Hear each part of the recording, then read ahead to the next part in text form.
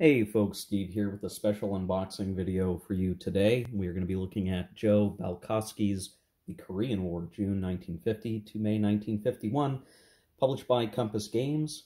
I just got this in the mail today, and I couldn't wait to crack it open, and we're going to do the unboxing video here for you, and uh, we'll see how it goes.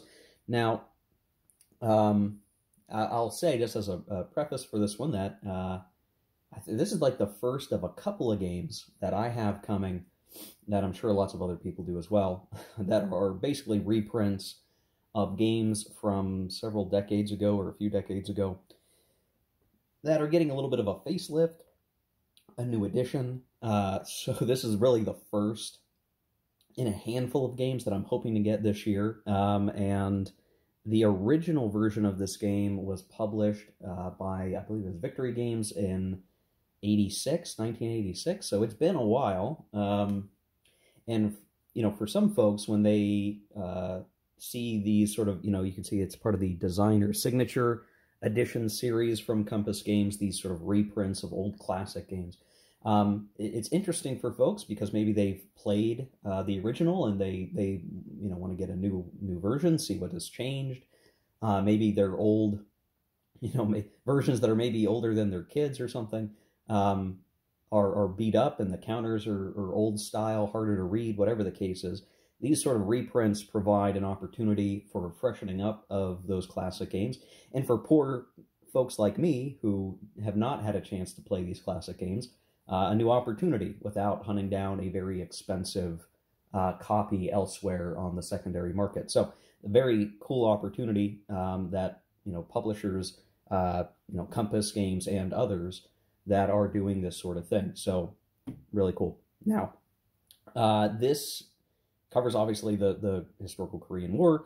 Um, there are obviously other games that you might know that I, I'm looking at or have been playing that cover the same conflict, right? And it is just a different, uh, a, a different system, right? From from maybe other games. This is, uh, you know, you could see it as traditional uh, hex and counter um, with you know, really, I, have I've read through the rules. It has its own particulars here.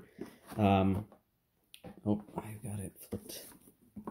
So if we look at the back of the box, you can see what comes in this edition. It is four maps, so things are blown up a little bit from the original edition. Uh, three counter sheets, so that's pretty good, right? Three counter sheets. That That is um, about the same number of counter sheets as other games that cover this conflict. Uh, rule book with updated historical notes. And I will say I have seen the uh, historical notes for the original edition, and they're very, uh, very in depth and, and interesting, uh, an interesting read. So I'm, I'm looking forward to uh, this having that updated, uh, updated historical notes, and we'll kind of see that. Uh, charts and booklets, numerous player aid cards and displays, numerous. Interesting. 10 sided die and, and all this. You can sort of see a snapshot of what the map will look like. I'm actually really interested to see the map because I don't know how I feel about the map yet until I see it in person. Um, when it's printed like this or when it's just um, a, a, graphic art on a website, the lowest uh, elevation terrain here just looks very flooded because it's a blue off blue. And it, I just don't know how I feel about it yet, but maybe if I see the map in person and, and laid out, I'll feel differently. Um, and then the whole blurb, which if you want to pause and read that, I'll leave that to you. And we can see some of the counters that uh, are coming up. The complexity, 7 out of 10, 1 month per turn, scale, 7.5 miles per hex. Uh, 1 to 2 players, solitaire is 7 out of 10. There's no hidden units, but you do have some things that will be hard to trick yourself on. And uh, the average time of play, if you're going to go for the campaign game, which um, that would certainly be my speed to try. It's 20 plus hours. So this puts it um, obviously uh, not as long as, say, uh, your OCS uh, Korea Forgotten War game, which would be a huge amount of time.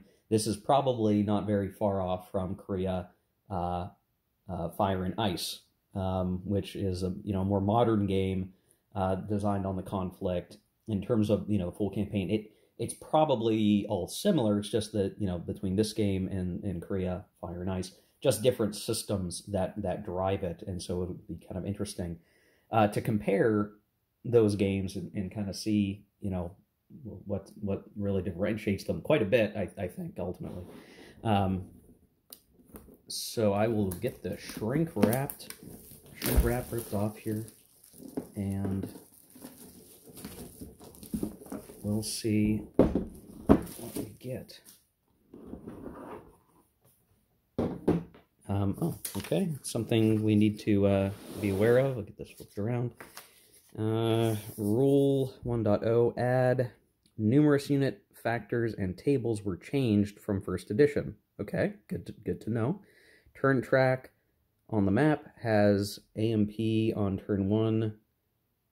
Uh, should not be there. Okay, so we'll we'll cross something out, I guess. But interesting. Okay. The first edition stuff won't matter to me, not having played the first edition, but there you go. Uh, we have a playbook. This is a non-glossy paper, uh, two-column format, and it is uh, color, ooh, and color examples, uh, which are always great.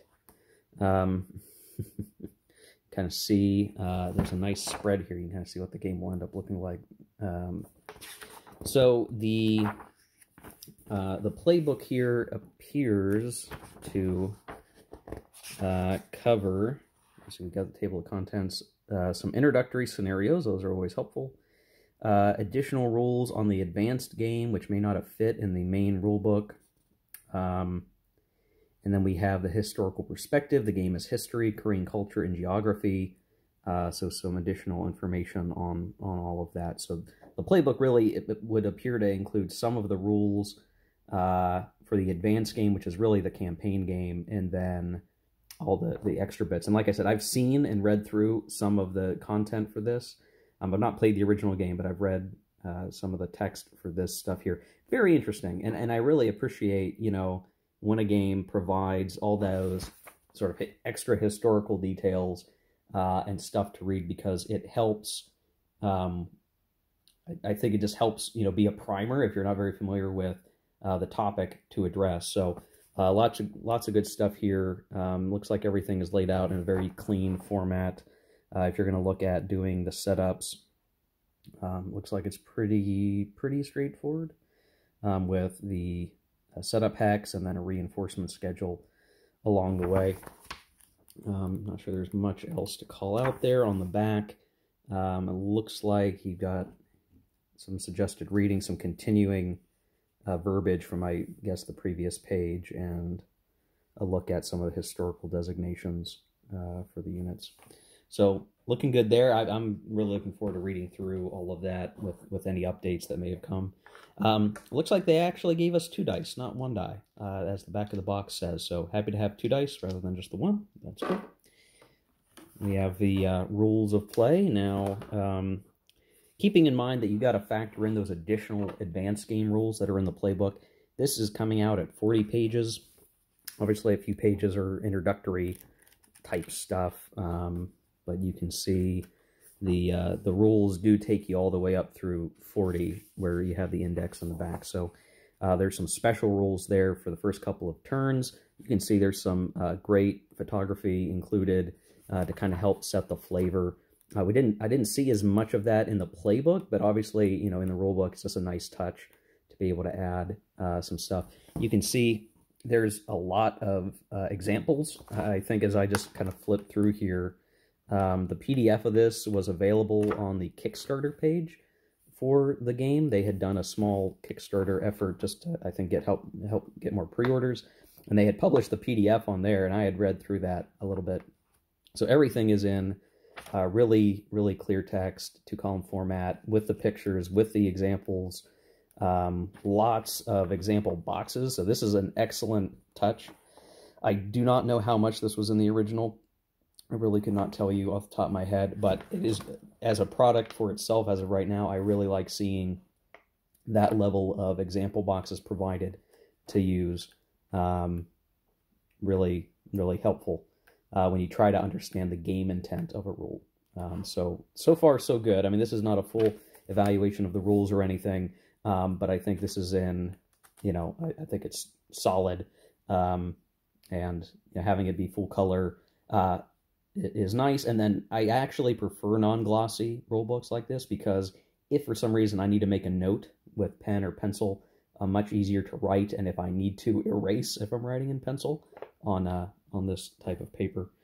Um, we've got some player aids here, so oh, it looks like these are um, basic game scenario 3, so it looks like some of these can be used, you set these up based on what scenario you're playing to track different types of things that are relevant for that given scenario, whereas you do have, it looks like this is a standard player aid chart with combat results table, an armor table, combat value modification chart, uh, sequence of play and advanced sequence of play, and more information on uh, the terrain. You can see, you know, it, rather than have a lot of, um, I guess, like an illustration of the terrain, it some of it's seemingly color coded. So you have like clear, broken is green, rough is brown, mountain is red, and then uh, that says peak, and it's sort of dark red brown with a little bit of white highlighting. Um, I, I, mm, yeah, I mean, I, I, guess it's clear, right? It's going to be very clear when you're looking at the map, and that'll be helpful. Um, aesthetically, you know, I don't know if that's to my taste necessarily, but um, if it works, it works. Uh, some additional player aid. Uh, looks like this is more oriented for the UN player with the blue, but uh, you, know, you can see on the back UN escalation chart. So um, each player having specific uh, player aid charts helpful. Uh, there's some more example uh, counter player aid sheet additional charts. So North Korean initiative, North Korean depots, UN depot tables on this player aid chart. Also example units on the back. Uh, UN close air support tracks.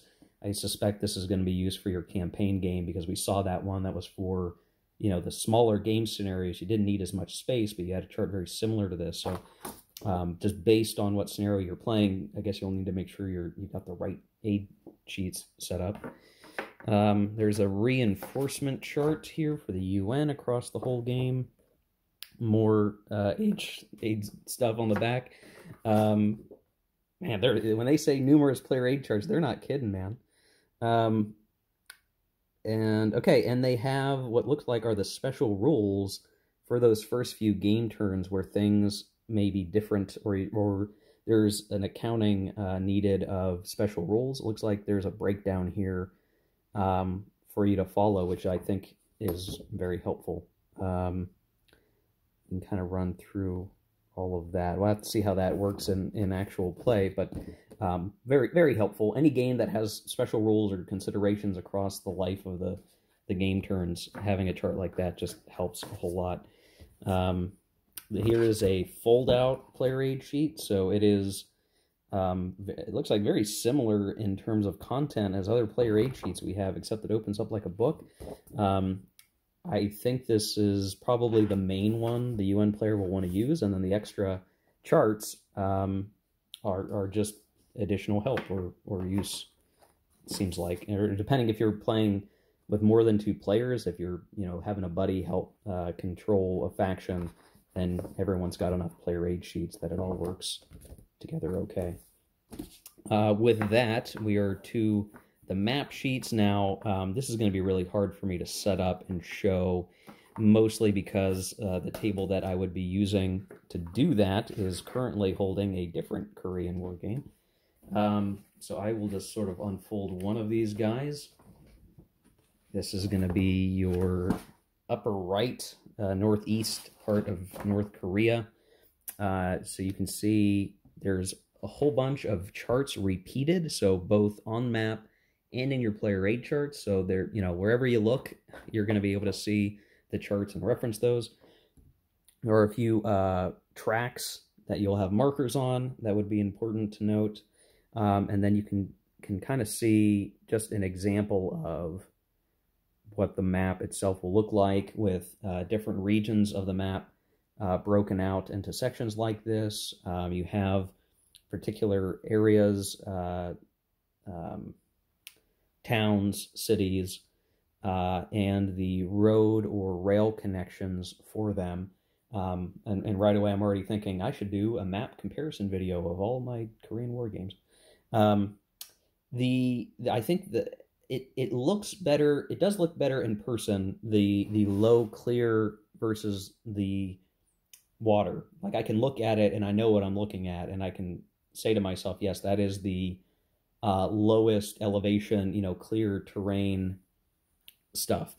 Um, I will say I probably might have preferred the color being a little bit different, maybe more of a white or, well, it, it's almost white, but it looks blue to my eyes and my current lighting. Um, so maybe just some other color might have been better. I, I don't know. I think like this looks very much like something you might see in a topo topographical book or something. Like you're looking at almost elevations, not just terrain um, which has its own, I guess, aesthetic qualities to it. I, I personally, I, I like pictures of, you know, I, I just like it differently, I guess, personally. But I think this will work uh, for for playing the game, right? It's not it's not ugly. It's just different than maybe I would have preferred. But I think it works, and it is clear where the rivers are and kind of how that is situated. So I. I'm happy for that at the very least. Um, so we won't we won't look at every single map. Um, I just don't have the space right now to do that. But at some point we will have uh, things broken open. And just to kind of show uh, as well, you can see there's Pyongyang as a city space um, and ports and and so on. So you can see all of that. Again, the um, the almost white but kind of light blue, I don't know, uh, is throwing me off a little bit. And then we have the counters. So these are uh, these look like they are brown core quality. It's a little hard to tell. If I focus, you can see that a little bit. Comes with these uh, little belt straps. Um, sometimes see this in other games. Um, I'm just going to rip that off. I don't need to keep these. Um, and so here are the counters. Now, I'll, I'll tell you right away, the, the feel of the counter thickness is nice. I'm not sure how these are going to punch yet. You can see the sprues are, are obviously there. You'll have to navigate around. Whether or not I'll clip the counters, I have no idea yet until I get them out of out of the sheets. Um, but they do feel very solid. They're solid counters, um, so that'll be nice. I'm sure they'll play uh, nice.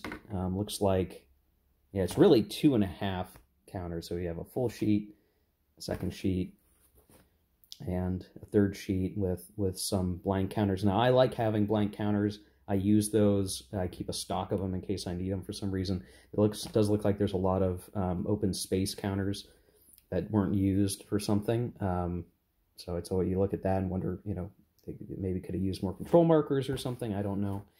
Um, if I'm not even sure how many control markers there really are. It looks like there's like these kinds. Um, maybe we could have used more of those. I don't know. Uh, the only thing I'll say is like the colors um, have a kind of subdued color to them.